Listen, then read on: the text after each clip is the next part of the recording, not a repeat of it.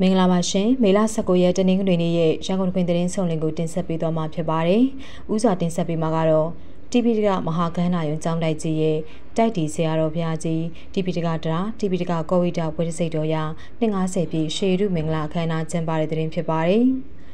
ရန်ကုန်တိုင်းဒေသကြီးဝင်ကြီးချုပ်ဦးစိုးသိန်းနဲ့အစိုးရဖွဲ့ဝင်များဟာမေလ18ရက်နေ့နေ့ပိုင်းကမယန်းကုန်းမြို့နယ်တိပိတကမဟာကန်းနာယုံကျောင်းတိုက်ကြီးရဲ့တိုက်တီဆရာတော်ဘုရားကြီးတိပိတကတရာတိပိတကကောဝိတာပွဲစိတ်တော်ရာ250ပြည့်ရှေရုမင်္ဂလာကျောင်းတိုက်တီချင်း250ပြည့်ရှေရုအလှတော်မင်္ဂလာနဲ့တိပိတကတရာစာအောင်အရှင်မြတ်များအားဂုဏ်ပြုပူဇော်ဝဲခမ်းနားသူတက်ရောက်ကြည်ညိုကြတယ်လို့သိရပါတယ်။ အခမ်းအနားတွင်နိုင်ငံတော်ဩဝါဒစရိယာအဘိဓမ္မာမဟာရထဂုရုအင်းစိန်ရွာမှပြည့်ရတိစာတင်တိုင်းပဒါနနာယကဆရာတော်ဗတ္တနာတီလောကဘေးဝင်သားဆရာတော်ဘုရားကြီးထံမှအပရိသတ်များကငါးပါးသီလခံယူဆောက်တည်ကြပါသည်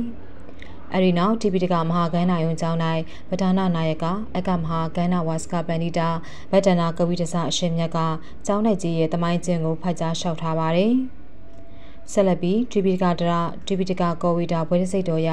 အရှင်ဝါယမိန်နာလင်္ကာရအားမန္တလေးတိုင်းဒေသကြီးအမရပူရာမြို့နယ်မဟာကန္နာယုံကျောင်းတိုက်နာယကအကမဟာကန္နာဝါစကပန္နိတာဗတ္တနာသူစနာဘေးဝင်သာရေးသားကွန်ပျူအပ်တဲ့ကုနာပိတဝါဂါထာများကို၎င်းဝိရိယတရဘွဲတစိတ်တော်ရအရှင်ကေတဝနှင့်အရှင်သူမနာတို့အားမန္တလေးတိုင်းဒေသကြီးအမရပူရာမြို့နယ် မဟာကန္နာယုံကျောင်းတိုင်းအနုနာယကမဟာကန္နာဝါစကပန္နိတာအရှင်ဝရုဏဘိဝင်သာရေးသားကွန်ပျူအပ်သောကုနာပိတဝါဂါထာများကို၎င်း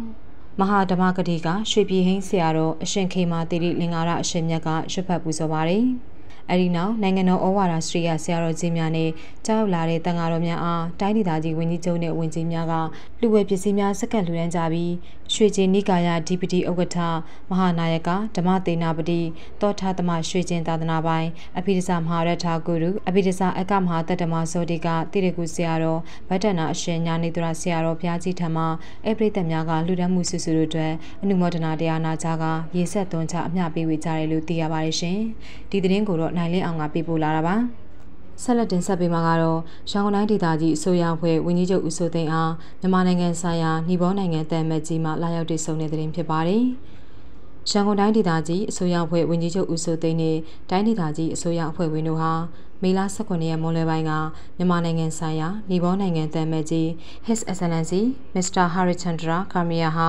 ရန်ကုန်တိုင်းဒေသကြီးအစိုးရအဖွဲ့ရုံးတပ်တမန်ခမ်းမဆောင်မှာလာရောက်တွေ့ဆုံကြောင်းသိရပါတယ်။ တွေ့ဆုံစဉ်နှစ်နိုင်ငံရင်းနှီးမြှုပ်နှံမှုဆိုင်ရာကိစ္စရပ်များခရီးသွားကဏ္ဍဖွံ့ဖြိုးတိုးတက်ရေးကိစ္စရပ်များဤပညာဆိုင်ရာကိစ္စရပ်များယဉ်ကျေးမှုလူမှုရေးဆိုင်ရာကိစ္စရပ်များနဲ့ရန်ကုန်မြို့တွင်ညီဘောတန်ရုံမှဦးစီးကျင်းပမယ် NAFA မြန်မာ Trade Relation Promotion Software Business ကုန်စည်ပြပွဲနဲ့ပတ်သက်ပြီးဆွေးနွေးကြပါတယ်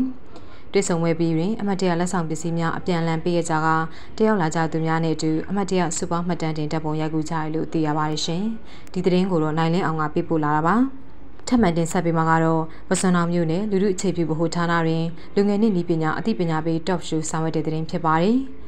ရန်ကုန်တိုင်းဒေသကြီးပစုံတော်မြို့နယ်ပြန်ကြားရေးနှင့်ပြည်သူ့ဆက်ဆံရေးဦးစီးဌာနလူလူအခြေပြုဗဟိုဌာန community center မှာလူငယ်နှင့်ဤပညာ top show ကိုမေလ19ရက်နေ့နဲ့10နာရီကပြုလုပ်ကြောင်းသိရပါဗျ။အဆိုပါဆွေးနွေးပွဲတွင်စာရေးဆရာမရွှေရင်လူပညာရေးနှင့်ပစုံတော်မြို့နယ်ပြန်ကြားရေးနှင့်ပြည်သူ့ဆက်ဆံရေးဦးစီးဌာနမှအငယ်တန်းစည်ဒေါ်မိုးပြပြမြင့်မောင်တို့မှလူငယ်နှင့်ဤပညာဆိုင်ရာများကိုဆွေးနွေးကြရလို့သိရပါတယ်ရှင်။ဒီသတင်းကိုတော့ဟန်စုရင်ကပေးပို့လာတာပါ။ဆက်လက်ပြီးတင်ဆက်ပေးမှာကတော့ ရန်ကုန်တိုင်းဒေသကြီးပုဂ္ဂလိကတည်ဖို့ဆောင်ရွက်ကြီးကြပ်မှုကော်မတီ YRDC ရဲ့ဆောင်ရွက်ချက်များနဲ့ဆက်လင်းပြီးအသိပေးရှင်းလင်းပွဲကျင်းပတဲ့တဲ့တင်ဖြစ်ပါတယ်။ရန်ကုန်မြို့တွင်ခရီးသွားပြည်သူများအနေဖြင့်မြို့ရင်းခရီးသွားလာရာတွင်ဘေးကင်းလုံခြုံပြီးအဆင်ပြေချုံးမိစွာသွားလာနိုင်စေရေးအတွက် ရန်ကုန်တိုင်းဒေသကြီးပုဂ္ဂလိကတည်ယူပို့ဆောင်ရေးကြီးကြပ်မှုကော်မတီ YRDC မှဆောင်ရွက်ပေးလျက်ရှိတဲ့ဝန်ဆောင်မှုလုပ်ငန်းများနဲ့ဆက်လင်းပြီးမီဒီယာများနဲ့တွေ့ဆုံကပြည်သူများထံသို့အသိပေးရှင်းလင်းပွဲနှင်းမြင့်ဆောင်2024ကိုမေလ19ရက်မွန်လယ်ပိုင်းကရန်ကုန်မြို့တာမွေမြို့နယ်လေးတောင်ကန်လမ်းမကြီးပေါ်ရှိရန်ကုန်တိုင်းဒေသကြီးပုဂ္ဂလိကတည်ယူပို့ဆောင်ရေးကြီးကြပ်မှုကော်မတီ YRDC ရုံးအစည်းအဝေးခန်းမမှာပြုလုပ်ကြောင်းသိရပါတယ်။ ရှေးဦးစွာရန်ကုန်တိုင်းဒေသကြီးပုဂ္ဂလိကတည်ယူပို့ဆောင်ရေးကြီးကြပ်မှုကော်မတီ YRDC မှတွဲဘက်အတွင်းရေးမှူးဦးလျံကျင်မန်ကအဖွဲ့အမှားစကားပြောကြားပြီးတက်ရောက်လာကြသောမီဒီယာများကရန်ကုန်တိုင်းဒေသကြီးတွင်ပြေးဆွဲနေသော YMS ရင်လိုင်းကုမ္ပဏီများမှရင်များရဲ့ရင်စည်းကမ်းဖောက်ဖျက်ကျူးလွန်မှုများနဲ့ပြစ်မှုပြစ်ဒဏ်ချမှတ်အရေးယူဆောင်ရွက်နေတဲ့အခြေအနေများ YBS အင်လိုင်းများတွင်ရေမတော်တဆမှုကြောင့် တေဆုံးဒဏ်ရာရရှိမှုများရန်ကုန်မြို့တွင်ခီးသွွားပြည်သူများအဆင်ပြေစေရေးအတွက်ရှင်းလိုင်းများလိုက်ခီးစဉ်လမ်းကြောင်းပြ YBS လမ်းညွှန်မြေပုံပါစတေကာများကပိုင်းနယ်သတိပြုစာရန်ပါစတေကာများကတ်ထားဆောင်ရွက်မယ့်အခြေအနေများ စောင့်ကြည့်ကင်မရာ CCTV များမတက်ဆင်ရသေးတဲ့ရှင်များအားစောင့်ကြည့်ကင်မရာ CCTV များတက်ဆင်သွားမယ့်အခြေအနေများနဲ့ပတ်သက်လို့အသီးသီးမေးမြန်းကြရာရန်ကုန်တိုင်းဒေသကြီးပုဂ္ဂလိကတည်ဖို့ဆောင်ရွက်ကြီးကြပ်မှုကော်မတီ YRDC မှတာဝန်ရှိသူများကအသီးသီးပြန်လည်ရှင်းလင်းဖြေကြားပေးကြတယ်လို့သိရပါတယ်ရှင်။ဒီသတင်းကိုတော့နိုင်လင်းအောင်ကပြပို့လာတာပါ။နောက်ဆုံးတင်ဆက်ပေးမှာကတော့တိုက်ကြီးမြို့နယ်တွင်ကျေးလက်နေမိသားစုဝင်ငွေတိုးတက်ရေးစီမံကိန်းလုပ်ငန်းမိတ်ဆက်ရှင်းလင်းတဲ့တင်ဖြစ်ပါတယ်။ ကျေးလက်နေပြည်သူများလူမှုစီးပွားဘဝများဖွံ့ဖြိုးတိုးတက်လာစေရေးတနိုင်တစ်ပိုင်းလောက်ကင်သောအသေးစားဆက်မှုလက်မှုလုပ်ငန်းရှင်များပေါ်ထွန်းလာစေရေးအမျိုးသမီးများနှင့်လူငယ်များအားအလောက်ကင်ခွင့်လန်းဖန်တီးပေးနိုင်ရေးနဲ့မိသားစုဝင်ငွေတိုးပွားလာစေရန်ရည်ရွယ်ပြီးအသေးစားဆက်မှုလက်မှုလုပ်ငန်းဦးစီးဌာနမှကျေးလက်နေမိသားစုဝင်ငွေတိုးရေးစီမံကိန်းများကိုဆောင်ရွက်လျက်ရှိပြီး2024-2025ဘဏ္ဍာရေးနှစ်အတွင်းကျေးလက်နေမိသားစုဝင်ငွေတိုးရေးစီမံကိန်းအကောင့်ထဲပေါ်ဆောင်ရွက်သွားမယ်ရန်ကုန်တိုင်းဒေသကြီးတိုက်ကြီးမြို့နယ်တာခွကျေးရွာအုပ်စုတွင်စီမံကိန်းလုပ်ငန်းမိတ်ဆက်ရှင်းလင်းခြင်းနဲ့ကျေးရွာကော်မတီဝင်များရွေးချယ်ခြင်းတို့ကိုမော်ဘီခရိုင်အသေးစားဆက်မှုလက်မှုလုပ်ငန်းဦးစီးဌာနမှတာဝန်ရှိသူများကအင်းရကြီးကျေးရွာဖုံးတော်ကြီးကျောင်းဓမ္မယုံတွင်မေလ18ရက်မွန်လယ်တနာရီက